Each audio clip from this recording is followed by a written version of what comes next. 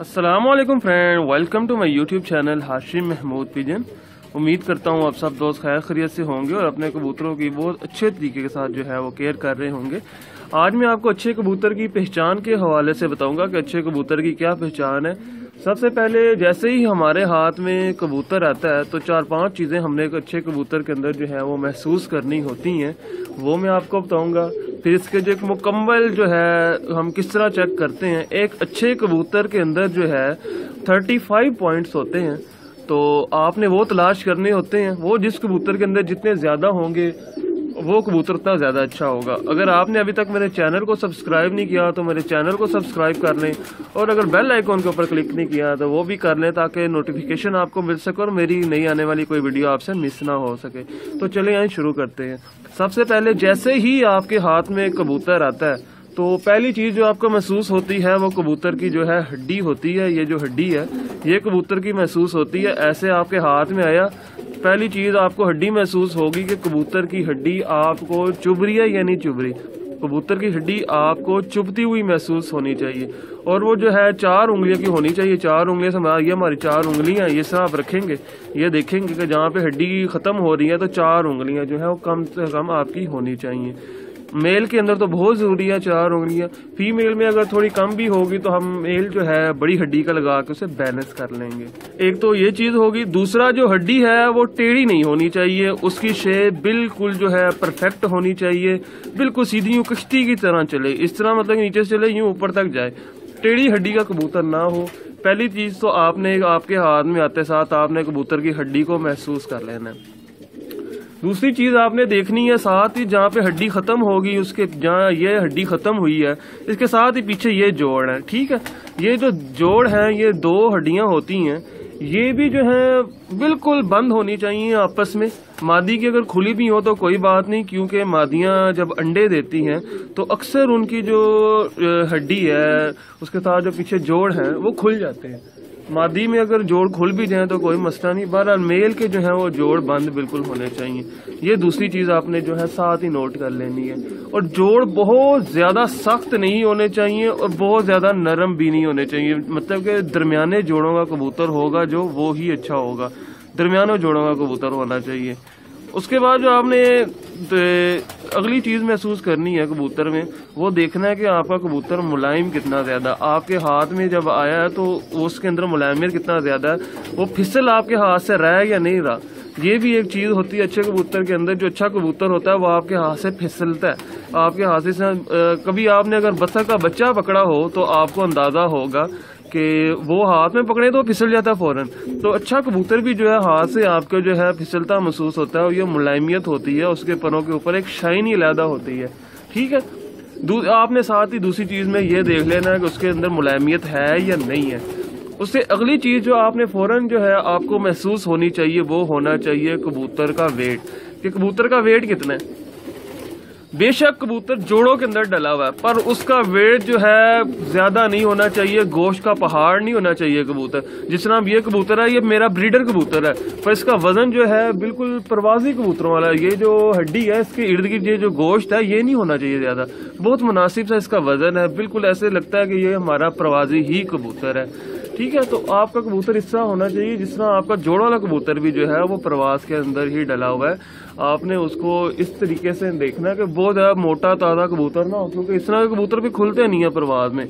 और वो बुलंदी में, गहराई में जाके जो है प्रवास नहीं करते, अच्छी प्रवास के वो मालिक नहीं होते। ठीक है? क्योंकि अक्सर लोग कहते हैं कि सियालकोटी कबूतर जो है वो भारी वजूद में आते हैं उनका जिसम बहुत बड़ा बड़ा भारी होता है। मेरे पास जो सियालकोटी कबूतर हैं, उनके जिसम, उनके वजूद भी बहुत हल्के हैं, बहुत जो है नरमो नाजिक से वो कबूतर है। आपका कबूतर जो हाथ में पकड़ा, वैसे लगे कि जिस तरह ये इसके अंदर गोश्त है ही नहीं है, सिर्फ़ ये पार ही पार है। मतलब कि परों का गोला सा है जो आपके हाथ में है। आपने ये एक और चीज़ महसूस करनी है, हाथ में आते साथ ही। आपके ये कुछ ऐसे पैरामीटर हैं जो आपके हाथ में कबूतर जब आता है तो आपको ऑटोमेटिकली जो है वो वक्त के साथ साथ एक्सपीरियंस के साथ साथ आपको पता चलना शुरू होता है। उसके बाद अब हम आगे बात कर लेते हैं कि हम चूंच से शुरू करते हैं, उसके बाद। चूंच जो है, आप इसकी देखें, चूंच अल्लाह पाक ने जो कबूतर को चूंच दी है, वो चूंच अल्लाह पाक ने इसको मकसद के लिए दिया कि इससे दाना उठाए और इससे खाए। इसका हरगिज ये मतलब नहीं है कि चूंच में कबूतर की कोई सियान होती है, चूंच में कबूतर की परवाज होती है, चूंच में कबूतर की घर की वापसी है जी। ये ऐसी कोई बात नहीं है। अल्लाह पाक ने उसको एक चीज़ दी है, वो उसको जो है दाना उठाने के लिए दी है, उसके पेट की ज़रूरत पूरा करने के लिए दी है। उसमें हम जो है, लोग ऐसे बीच में बातें करते हैं। मुझे तो मेरा उन सबसे इख्तलाफ है। अगर आपका भी इस बारे में कोई ख्याल होगा तो नीचे कमेंट में ज़रूर बताइएगा। बहरहाल, हम एक बात कह सकते हैं कि चूंच जो है, वो हमें नस्ल का ज़रूर बताती है, क्योंकि डिफरेंट नस्लों के अंदर डिफरेंट चूंच आती है। चूंच की मदद से हम जो है, कबूतर की नस्ल का बहरहाल अंदाज़ा लगा सकते हैं, जिस तरह वैशी कबूतरों में है, सियालकोटी कबूतरों की है, और ये जो हमारे टैडी कबूतर हैं इस तरह हम चूंच की वजह से नस्ल का अंदाज़ा लगा सकते हैं, क्योंकि जो टैडी कबूतर है, वो कभी भी मोटी चूंज का नहीं होगा। टैडी हमेशा बरीक चूंज का ही आएगा। और जो हमारे इसका क्या कमगर कबूतर हैं, वो कभी भी बरीक चूंच का नहीं होगा, वो हमेशा मोटी चूंच के अंदर रहेगा। ये चूंच के मुतलिक हो गया। उसके बाद जो है, नाक के ऊपर हम आते हैं, और जिस तरह कि आप इसका नाक देख लें, नाक कबूतर का आप ये देखें, नाक कबूतर का मोटा होना चाहिए। बरीक नाक का कबूतर नहीं होना चाहिए, इसके नथले बड़े होने चाहिए। तो इससे ज़रा जब प्रवास करता है तो ज़रा अच्छी सांस लेता है। तो ये एक और चीज़ है, और ये ऊपर से सार है, उसके बाद सारा आ जाता है। सार ऊपर से ये यहाँ से ये जो है बिल्कुल सीधा, ये देख लें जिस तरह, ये गुलाई जाके यहाँ से सीधा है। अब इसको मार वगैरह पड़ी हुई है तो जो थोड़ा सा उसके बाल ख़राब हुए हुए यहाँ से सार इसका सीधा होना चाहिए, ठीक है? गर्दन है, गर्दन कबूतर की छोटी हो, बड़ी हो। लंबी कबूतर की गर्दन हो, वो भी प्रवास शाम तक करते हैं। कबूतर की गर्दन छोटी हो, वो भी शाम तक प्रवास करते हैं। ये दोनों चीज़ें हैं। इसमें कोई ऐसी मसला नहीं है कि लंबी गर्दन का कबूतर होगा तो प्रवास करेगा। छोटी गर्दन के कबूतर भी जो है, उतनी अच्छी गर्दन के कबूतर उतनी अच्छी प्रवास करते हैं, जितनी लंबी गर्दन के करते हैं। और इसी तरह सेम यही है कि बैठी रेप का कबूतर भी बहुत अच्छा उड़ता है और खड़ी रेप का कबूतर भी जो है, बहुत अच्छा उड़ता है। इसमें कोई ऐसा जो है मसला नहीं है। दोनों रेपों के कबूतर बड़े बड़े अच्छे उड़ते हैं और शाम तक की परवाजें दे इसके बाद जो अगली चीज़ है, वो हमने देखनी है जी कबूतर की आँख। कबूतर की जो अब आँख देखनी है तो इसके अंदर जो है काफ़ी सारी चीज़ें जो है, वो आ जाती हैं। आँख एक बहुत जामिया किस्म का जो है, वो मौजू है।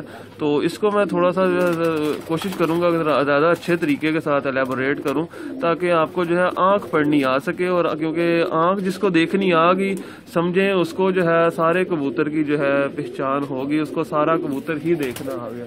ठीक है? तो आँख जो है, ये अभी थोड़ी क्लियर नहीं हो रही। जिस तरह ये क्लियर होती है तो मैं आपको बताना शुरू करता हूँ।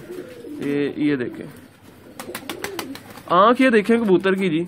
इस कबूतर की आँख के अंदर सबसे पहले जो आपने आँख में देखना है, वो देखना है कबूतर का काला नूर कितना बड़ा है। जो काला नूर है, वो बहुत छोटा होना चाहिए। अभी ये छाओ के अंदर है तो आप ये देख लें इसका काला नूर, वो कितना छोटा है। काला नूर एक तो छोटा होना चाहिए। ऊपर से अगर उसका झुकाव जिस तरह आप ये देख रहे हैं, बैजवी शक्ल में है चूंज की तरफ़ गिरा हुआ है तो ये भी बड़े अच्छे नूर की निशानी है कि जो नूर है वो चूंज की तरफ़ गिरा हुआ, ठीक है? उसके बाद आपको इसकी आँख के अंदर एक चमक शाइन नज़र आ रही होगी। आप अपनी मतलब कि शक्ल देखेंगे तो इस टाइम मैं वीडियो बना रहा हूँ तो मेरी शक्ल इसकी आँख के अंदर जो है नज़र आ रही है। तो ये भी एक बहुत अच्छी आँख की निशानी है। एक और बात जो कि आँख है, उसके अंदर आपको नमी नमी महसूस हो। मतलब कि पानी पानी सा जो है, वो महसूस होना चाहिए आँख के अंदर। तो वो भी जो है, एक बहुत ही अच्छी क्वालिटी आँख के अंदर गिनी जाती है। जेड़ के अंदर ऐसा कबूतर ही उड़ता है जिसकी आँख में नमी होती है। जो खुश्क आँख के कबूतर होते हैं, वो बाहर गिर जाते हैं, उनकी आँखें फट जाती हैं जब उड़ते हैं तो वो फिर बाहर गिर जाते हैं। उसके ऊपर आप आँख की ज़मीन देखें, लाल रंग की ज़मीन है, उसके अंदर जर्रात काफ़ी सारे मौजूद हैं। तो ये ज़रात होने बहुत ज़रूरी है। ये कबूतर की पुख्तगी होती है, ये ज़मीन की पुख्तगी होती है। उसके बाद जो है पाँचवा रिंग आ जाता है कबूतर का। तो पाँचवा रिंग होना बहुत ज़रूरी है। जिस कबूतर का पाँचवा रिंग नहीं होगा, वो अतबार वाला नहीं होगा। वो किसी दिन शाम की परवाज देगा और किसी दिन सुबह आठ बजे आ जाएगा या बाजी के अंदर आएगा तो नीचे नीचे साइडों से निकल के आएगा और काटे जाएगा और ऐसे कबूतर का हमें कोई फ़ायदा नहीं। उसके बाद ये देखें, अब मैंने इसको छोड़ा तो अब अब आँख की इसकी फिटिंग देखिए, इसकी आँख की फिटिंग पूरी होनी चाहिए। ये नहीं कि एक साइड से जो है, इस तरह मतलब कि साइड से बाहर निकली भी हो, कहीं से कुछ ऐसा कबूतर नहीं होना चाहिए। आँख की फिटिंग बहुत अच्छी होनी चाहिए। उसके बाद हम थोड़ा सा पलकों की बात करते हैं तो पलक जो है, वो कबूतर की बारीक होनी, जिस तरह ही आँख बंद करता है तो नीचे से अच्छा आँख जो है, उसके अंदर आपने कबूतर की पलक देखनी है कि पलक ब्रीक होनी चाहिए। और ये जो पलक के ऊपर ये जो चीज़ है, ये जो दंदाने हैं, ये पलक, ये जो एक जो पर्दा है ना पलक का, ये जो गुलाई है, ये जो गुलाई है, इसके ऊपर ये दंदाने जो है, ये ब्रीक होने चाहिए। और इसकी अब ये जो पलक देख रहे हैं हम ये जोड़ों में डला है तो काफ़ी अरसा पुराना कबूतर हो गया तो ये बढ़ गया। ये भी बरीक होनी चाहिए। जितना बरीक होगा, जितना जो है इसके धंधे बरीक होंगे, कबूतर, उतना ही आपका अच्छा होगा। और एक और बात जो मैं आपको घुर की बता दूँ, को जो अच्छा कबूतर होता है ना, वो अग्रेसिव होता है। वो आपके हाथ में आता, आपके हाथ में आके उसको जो है, वो बुरा मना जाता है। वो कम गर्दन उसने घुसेड़ ली डर रहा है। वो आपके हाथ से बार बार निकलने की कोशिश कर रहा है। वो भी एक अच्छे कबूतर की जो है निशानी होती है। आँख के मुतलिक भी हो गया। इसके बाद हम बात कर लेते हैं कबूतरों की परों के बारे में। ये जो पर हैं, इनको फ्लाइंग फीदर कहते हैं। इनकी बात करते हैं। ये एक तो तरतीब के साथ चलने चाहिए। बिल्कुल ऐसे जैसे कबूतर के पार के ऊपर पार चढ़ा, वो अभी ये क्रीज में डला हुआ है तो इसके लिए इतने क्लियर आपको नहीं हो रहे होंगे। और अगर किसी कबूतर के पर वाइब्रेट कर रहे हैं, मेरे पास ऐसे मौजूद हैं कबूतर जो वाइब्रेट करते हैं, वो बहुत अच्छे होते हैं। मतलब कि हमने ये पर को खोला, ये देखें। ये खोला, ये फ़ौरन ये इस तरह खोलेंगे, ये देखें। ये स्प्रिंग की मानिद जो है, ये देखें, ये खोला। ये स्प्रिंग की मानिद अपने वापस लिया ये अच्छे पर की निशानी है। और इसकी अगर आप आखिरी तीन पर देखें तो वो आपको बराबर नज़र आएँगे। इसके आखिरी तीन पर जो है, बराबर है। ये बहुत बेहतरीन ब्रीडर है। ऐसे ब्रीडर को हम जो है, नौवीं कली बड़ी हो, दसवीं और आठवीं बराबर हो, उसके साथ डालते हैं तो बड़ा अच्छा रिज़ल्ट मिलता है हमें। तो ये देख लें आप एक तो और दोपहर ऊपर से ये जो परियाँ है, इसकी ये ये परियाँ, ये भी मोटी होनी चाहिए, परों के अंदर लचक होनी चाहिए। देखें ये मैं यहाँ तक ले आया हूँ तो पर टूटे नहीं है। पर हार्ड बहुत ज़्यादा नहीं होना चाहिए। परों के अंदर ये जो बारीक तीली है, ये देख लें। आप ये भी बारीक होनी चाहिए। पर किसी भी स्ट्रक्चर का हो मतलब के नुकीला हो, ऊपर से गोल हो, मुख्तलिफ़ किस्म के, अब ये वीडियो बहुत लंबी हो जाएगी, अगर मैं परों के ऊपर ही बहुत ज़्यादा बहस करनी शुरू कर दी। ये अच्छा कबूतर जो है, ये घंटों की बहस है। उसके बाद जाकर डिफाइन होता है, मैं तो आपको जो है मोटा मोटा जो है बताने की कोशिश कर रहा हूँ। किसी दिन जो मैं आपके साथ वन बाय वन करके एक एक चीज़ के ऊपर भी जो है डिस्कशन करूँगा ताकि जो है हर चीज़ जो है बिल्कुल क्लियर हो सके। उसके बाद ये बगलें आ जाती हैं कबूतर की, ये जो है बगलों के पर ठीक है? ये भी अच्छे होने चाहिए, बड़ी बड़ी बगल का कबूतर होना चाहिए पर ये देखे, मैं इसको खेची जा रहा हूँ, जहाँ तक भी मैं लेके जा रहा हूँ, वो छोड़ नहीं रहा अपने। और ये कांपना इसका देख रहे हैं आप? ये छोड़ नहीं रहा। ये नहीं कर रहा कि ये जो है अपने जिस्म के साथ से छोड़ गया ये अच्छे कबूतर की जो है वो निशानी होती है। उसके बाद जो ये पर हैं कबूतर के ये वाले पर देख लें आप, ये जो पर हैं, ये भी कबूतर के अच्छे थिक होने चाहिए। मतलब कि इन परों से कबूतर ने हवा अपनी रोकनी होती है। अगर यहाँ से हवा क्रॉस होगी तो यकीन कबूतर जो है वो कम उड़ेगा। और ये देखें, ये हाथ से निकलने की कर रहा है। और ये देखें, इधर से भी आपको मैं दूसरे पर भी दिखा देता हूँ। जिस स्ट्रक्चर के पार एक साइड के होंगे, दूसरी साइड के पार भी सेम उसी स्ट्रक्चर के होने चाहिए। ठीक है? और ख़ास तौर के ऊपर जो कबूतर के परों के अंदर सातवां पर है, ये। ये पर बहुत ज़्यादा अहमियत का हामिल है, ठीक है? ये जिस तरह आप ये देख रहे हैं, इसके परों के अंदर लहरें हैं। जिस तरह के कोई पानी की लहर नहीं होती, इस तरह इस तरह इस तरह, ऊपर नीचे ऊपर नीचे ऊपर नीचे। ये पर देख रहे हैं कबूतरों के पर इस तरह होने चाहिए। और जो मैं पुरानी किताबों में पढ़ता था, उस्ताद लोग कहते हैं कि जिस कबूतर के परों के अंदर सुराख होंगे, वो बड़ा अच्छा कबूतर होगा तो भाई कबूतरों के परों के अंदर जो सुराख वाली बात है ना, वो जब जुएँ पड़ती हैं तो इनका सुराख हो जाते हैं तो उसमें ऐसी कोई जो है, वो बात नहीं है। इसकी, इस साइड की बगल भी देखें, बड़ी बगल का कबूतर है, और ये पर जो है, ये भी इसके अच्छे हैं। तो पर सीधे हो, वो भी कबूतर उड़ते हैं, पर तलवार की तरह उड़े आ रहे हो, वो भी उड़ते हैं। और कुंदे की बात कर लेते हैं, ये जो कुंदा है कबूतर का, ये इसके ऊपर गोश्त नहीं होना चाहिए। ये यहाँ पे हड्डी होनी चाहिए, बिल्कुल गोश्त नहीं होना चाहिए। बड़ा स्लिम स्मार्ट सा कुंदा होना चाहिए जितना बड़ा कुंदा होगा कबूतर, उतना अच्छा होगा। ये जो परियाँ हैं ऊपर, ये भी चौड़ी होनी चाहिए, ये क्योंकि बेस होती है, यहाँ से जो है अगर हवा क्रॉस होगी तो कबूतर के पार थक जाएँगे और कबूतर बाहर गिरेगा। क्योंकि जब कबूतर के पार में दर्द होती है तो कबूतर बाहर गिरता है। ये चौड़ी होनी चाहिए। इसके बाद बात करते हैं हम दुम की तो ये देख ले मैंने इसकी दुम को सवारा नहीं है, ये खुद ब खुद ही ऐसी है। ये दुम इसकी एक पर की दुम है। एक पर के कबूतर की दुम होनी चाहिए। ये जो ऊपर ये पर देख रहे हैं, ये ज़्यादा लेंथ में जितने होंगे, दुम उतनी मज़बूत होगी। कबूतर होता अच्छा जो है हवा के अंदर स्टेबल होगा, आंधी तूफ़ान में घर आएगा। और ये जो नीचे ये पान है, ये पान अगर आप गौर करें कबूतर का तो ये पान देखे कहाँ तक आया हुआ है। ये यहाँ तक आया हुआ है मतलब कि दुम से कोई एक इंच का फासला है इसका पान का। जितना बड़ा पान होगा कबूतर, उतना अच्छा होगा। उसके साथ ही मैं जो है पंजों को भी डिस्कस कर लेता हूँ ये अगर इसके पंजे देखें आप तो ये खुश्क पंजों का मालिक है, जामनी जामनी सा मार रही है। डार्किश पंजे होने चाहिए कबूतर के। जिस कबूतर के डार्किश पंजे हो गए और आँख का पांचवा रिंग जितना गहरा होगा और चमक आँख में ज़्यादा होगी, वो कबूतर उतना अच्छा प्रवाजी होगा और उतना सियाना भी होगा। ये कुछ चीज़ें हैं, ठीक है, आप ये पंजे देख लें। अगर पंजों के ऊपर यहाँ पे बाल आ जाए इसके अंदर, इधर तो वो कबूतर भी बहुत सियाने होते हैं और बड़े पंजों के अच्छे कबूतर होते हैं, इसके नहीं है। जिन कबूतरों के आ जाए वो बड़े अच्छे सियाने कबूतर होते हैं। और ये जो कबूतर के यहाँ पे जो कील है कुछ लोग जो है, कील के मतलब बहुत सी बातें मशहूर हैं कि दो किलो वाला कबूतर जो है, वो अच्छा नहीं होता, कबूतर उड़ता नहीं है। अब ये देखें, ये कील है। यहाँ पे ये कील है। इसको ऑयल ग्लैंड कहते हैं। ये कबूतर जो है यहाँ पे अपनी चूंच रगड़ता है और मसल के इसको जो है अपने परों के अंदर फेरता है और जो है उनके ऊपर जो एक नरमी आती है परों के ऊपर, वो इसकी वजह से आती है। इसका कतन प्रवाह से कोई तल्लक नहीं, इसका कतन कोई जोड़ों के साथ तल्लुक नहीं, इसका कतन और किसी चीज़ के साथ कोई तल्लुक नहीं, इसका सिर्फ़ एक ही मकसद है कि जब ये कबूतर जो है यहाँ पे इसको रगड़ता है, मसलता है और अपने देखा होगा कि पार को यहाँ से शुरू करेगा, इस तरह ले जाएगा। चूं चूं मारेगा, ये पूरी ले जाएगा। वो क्यों, वो इसको जब वो शुरू करता है तो फिर वो काफ़ी अच्छे तरीके के साथ वो अपने परों के ऊपर वो उसको लगा देता है, उसके अंदर मुलायमियत पैदा हो जाती है। और एक मकसद बहरहाल कील का ये है कि जब कबूतर बीमार हो तो आपका ये कील यहाँ से निकाले, इसको दबा दें। दबा के, दुम के दो पर खाएँगे, सीने के थोड़े से पर खाएँगे, आपका कबूतर जो है वो ठीक हो जाएगा अच्छा हो जाएगा, ठीक है? तो ये कुछ चीज़ें हैं।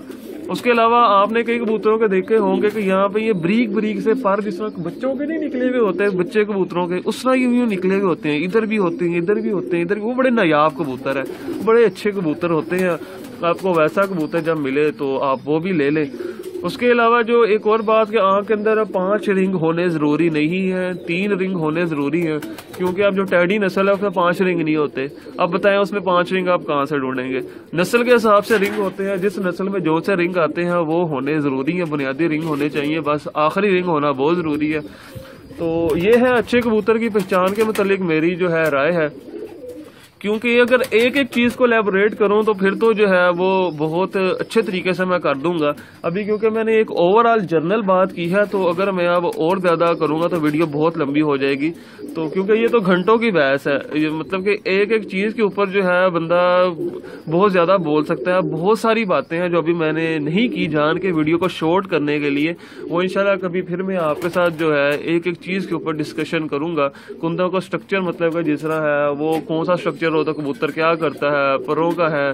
तो बहुत सारी चीज़ें हैं। मैं आपके साथ जो है जोड़ा लगाने की टेक्निक भी शेयर करूँगा कि मैं किस चीज़ को जो है देख के जोड़ा वगैरह लगाता हूँ। तो मैं आपके साथ वो बातें भी शेयर करूँगा। और एक और चीज़ मुझे याद आ गई जाते जाते जो नाखून है जितने बड़े नाखून होंगे, कबूतर उतना ज़्यादा पुरानी नस्लों में होगा प्योरिटी में होगा। और जितने छोटे नाखून होते जाएँगे, कबूतर उतना ज़्यादा क्रास में आता जाएगा, ये भी एक बात है। तो अगर आपको ये वीडियो अच्छी लगी है तो इसको लाइक कर दें। अगर अभी तक आपने मेरे चैनल को सब्सक्राइब नहीं किया तो सब्सक्राइब के बटन में क्लिक कर दें और बेल आइकॉन के ऊपर ज़रूर क्लिक करें, ताकि मेरी हर नई आने वाली वीडियो आप दोस्तों तक पहुँच सके। अगर आपको ये वीडियो अच्छी लगी हो तो इसको लाइक ज़रूर करिएगा। नीचे कमेंट में ज़रूर बताइएगा कि आपने इससे कुछ सीखा है या नहीं। सीखा आखिर में thank you very much for watching this video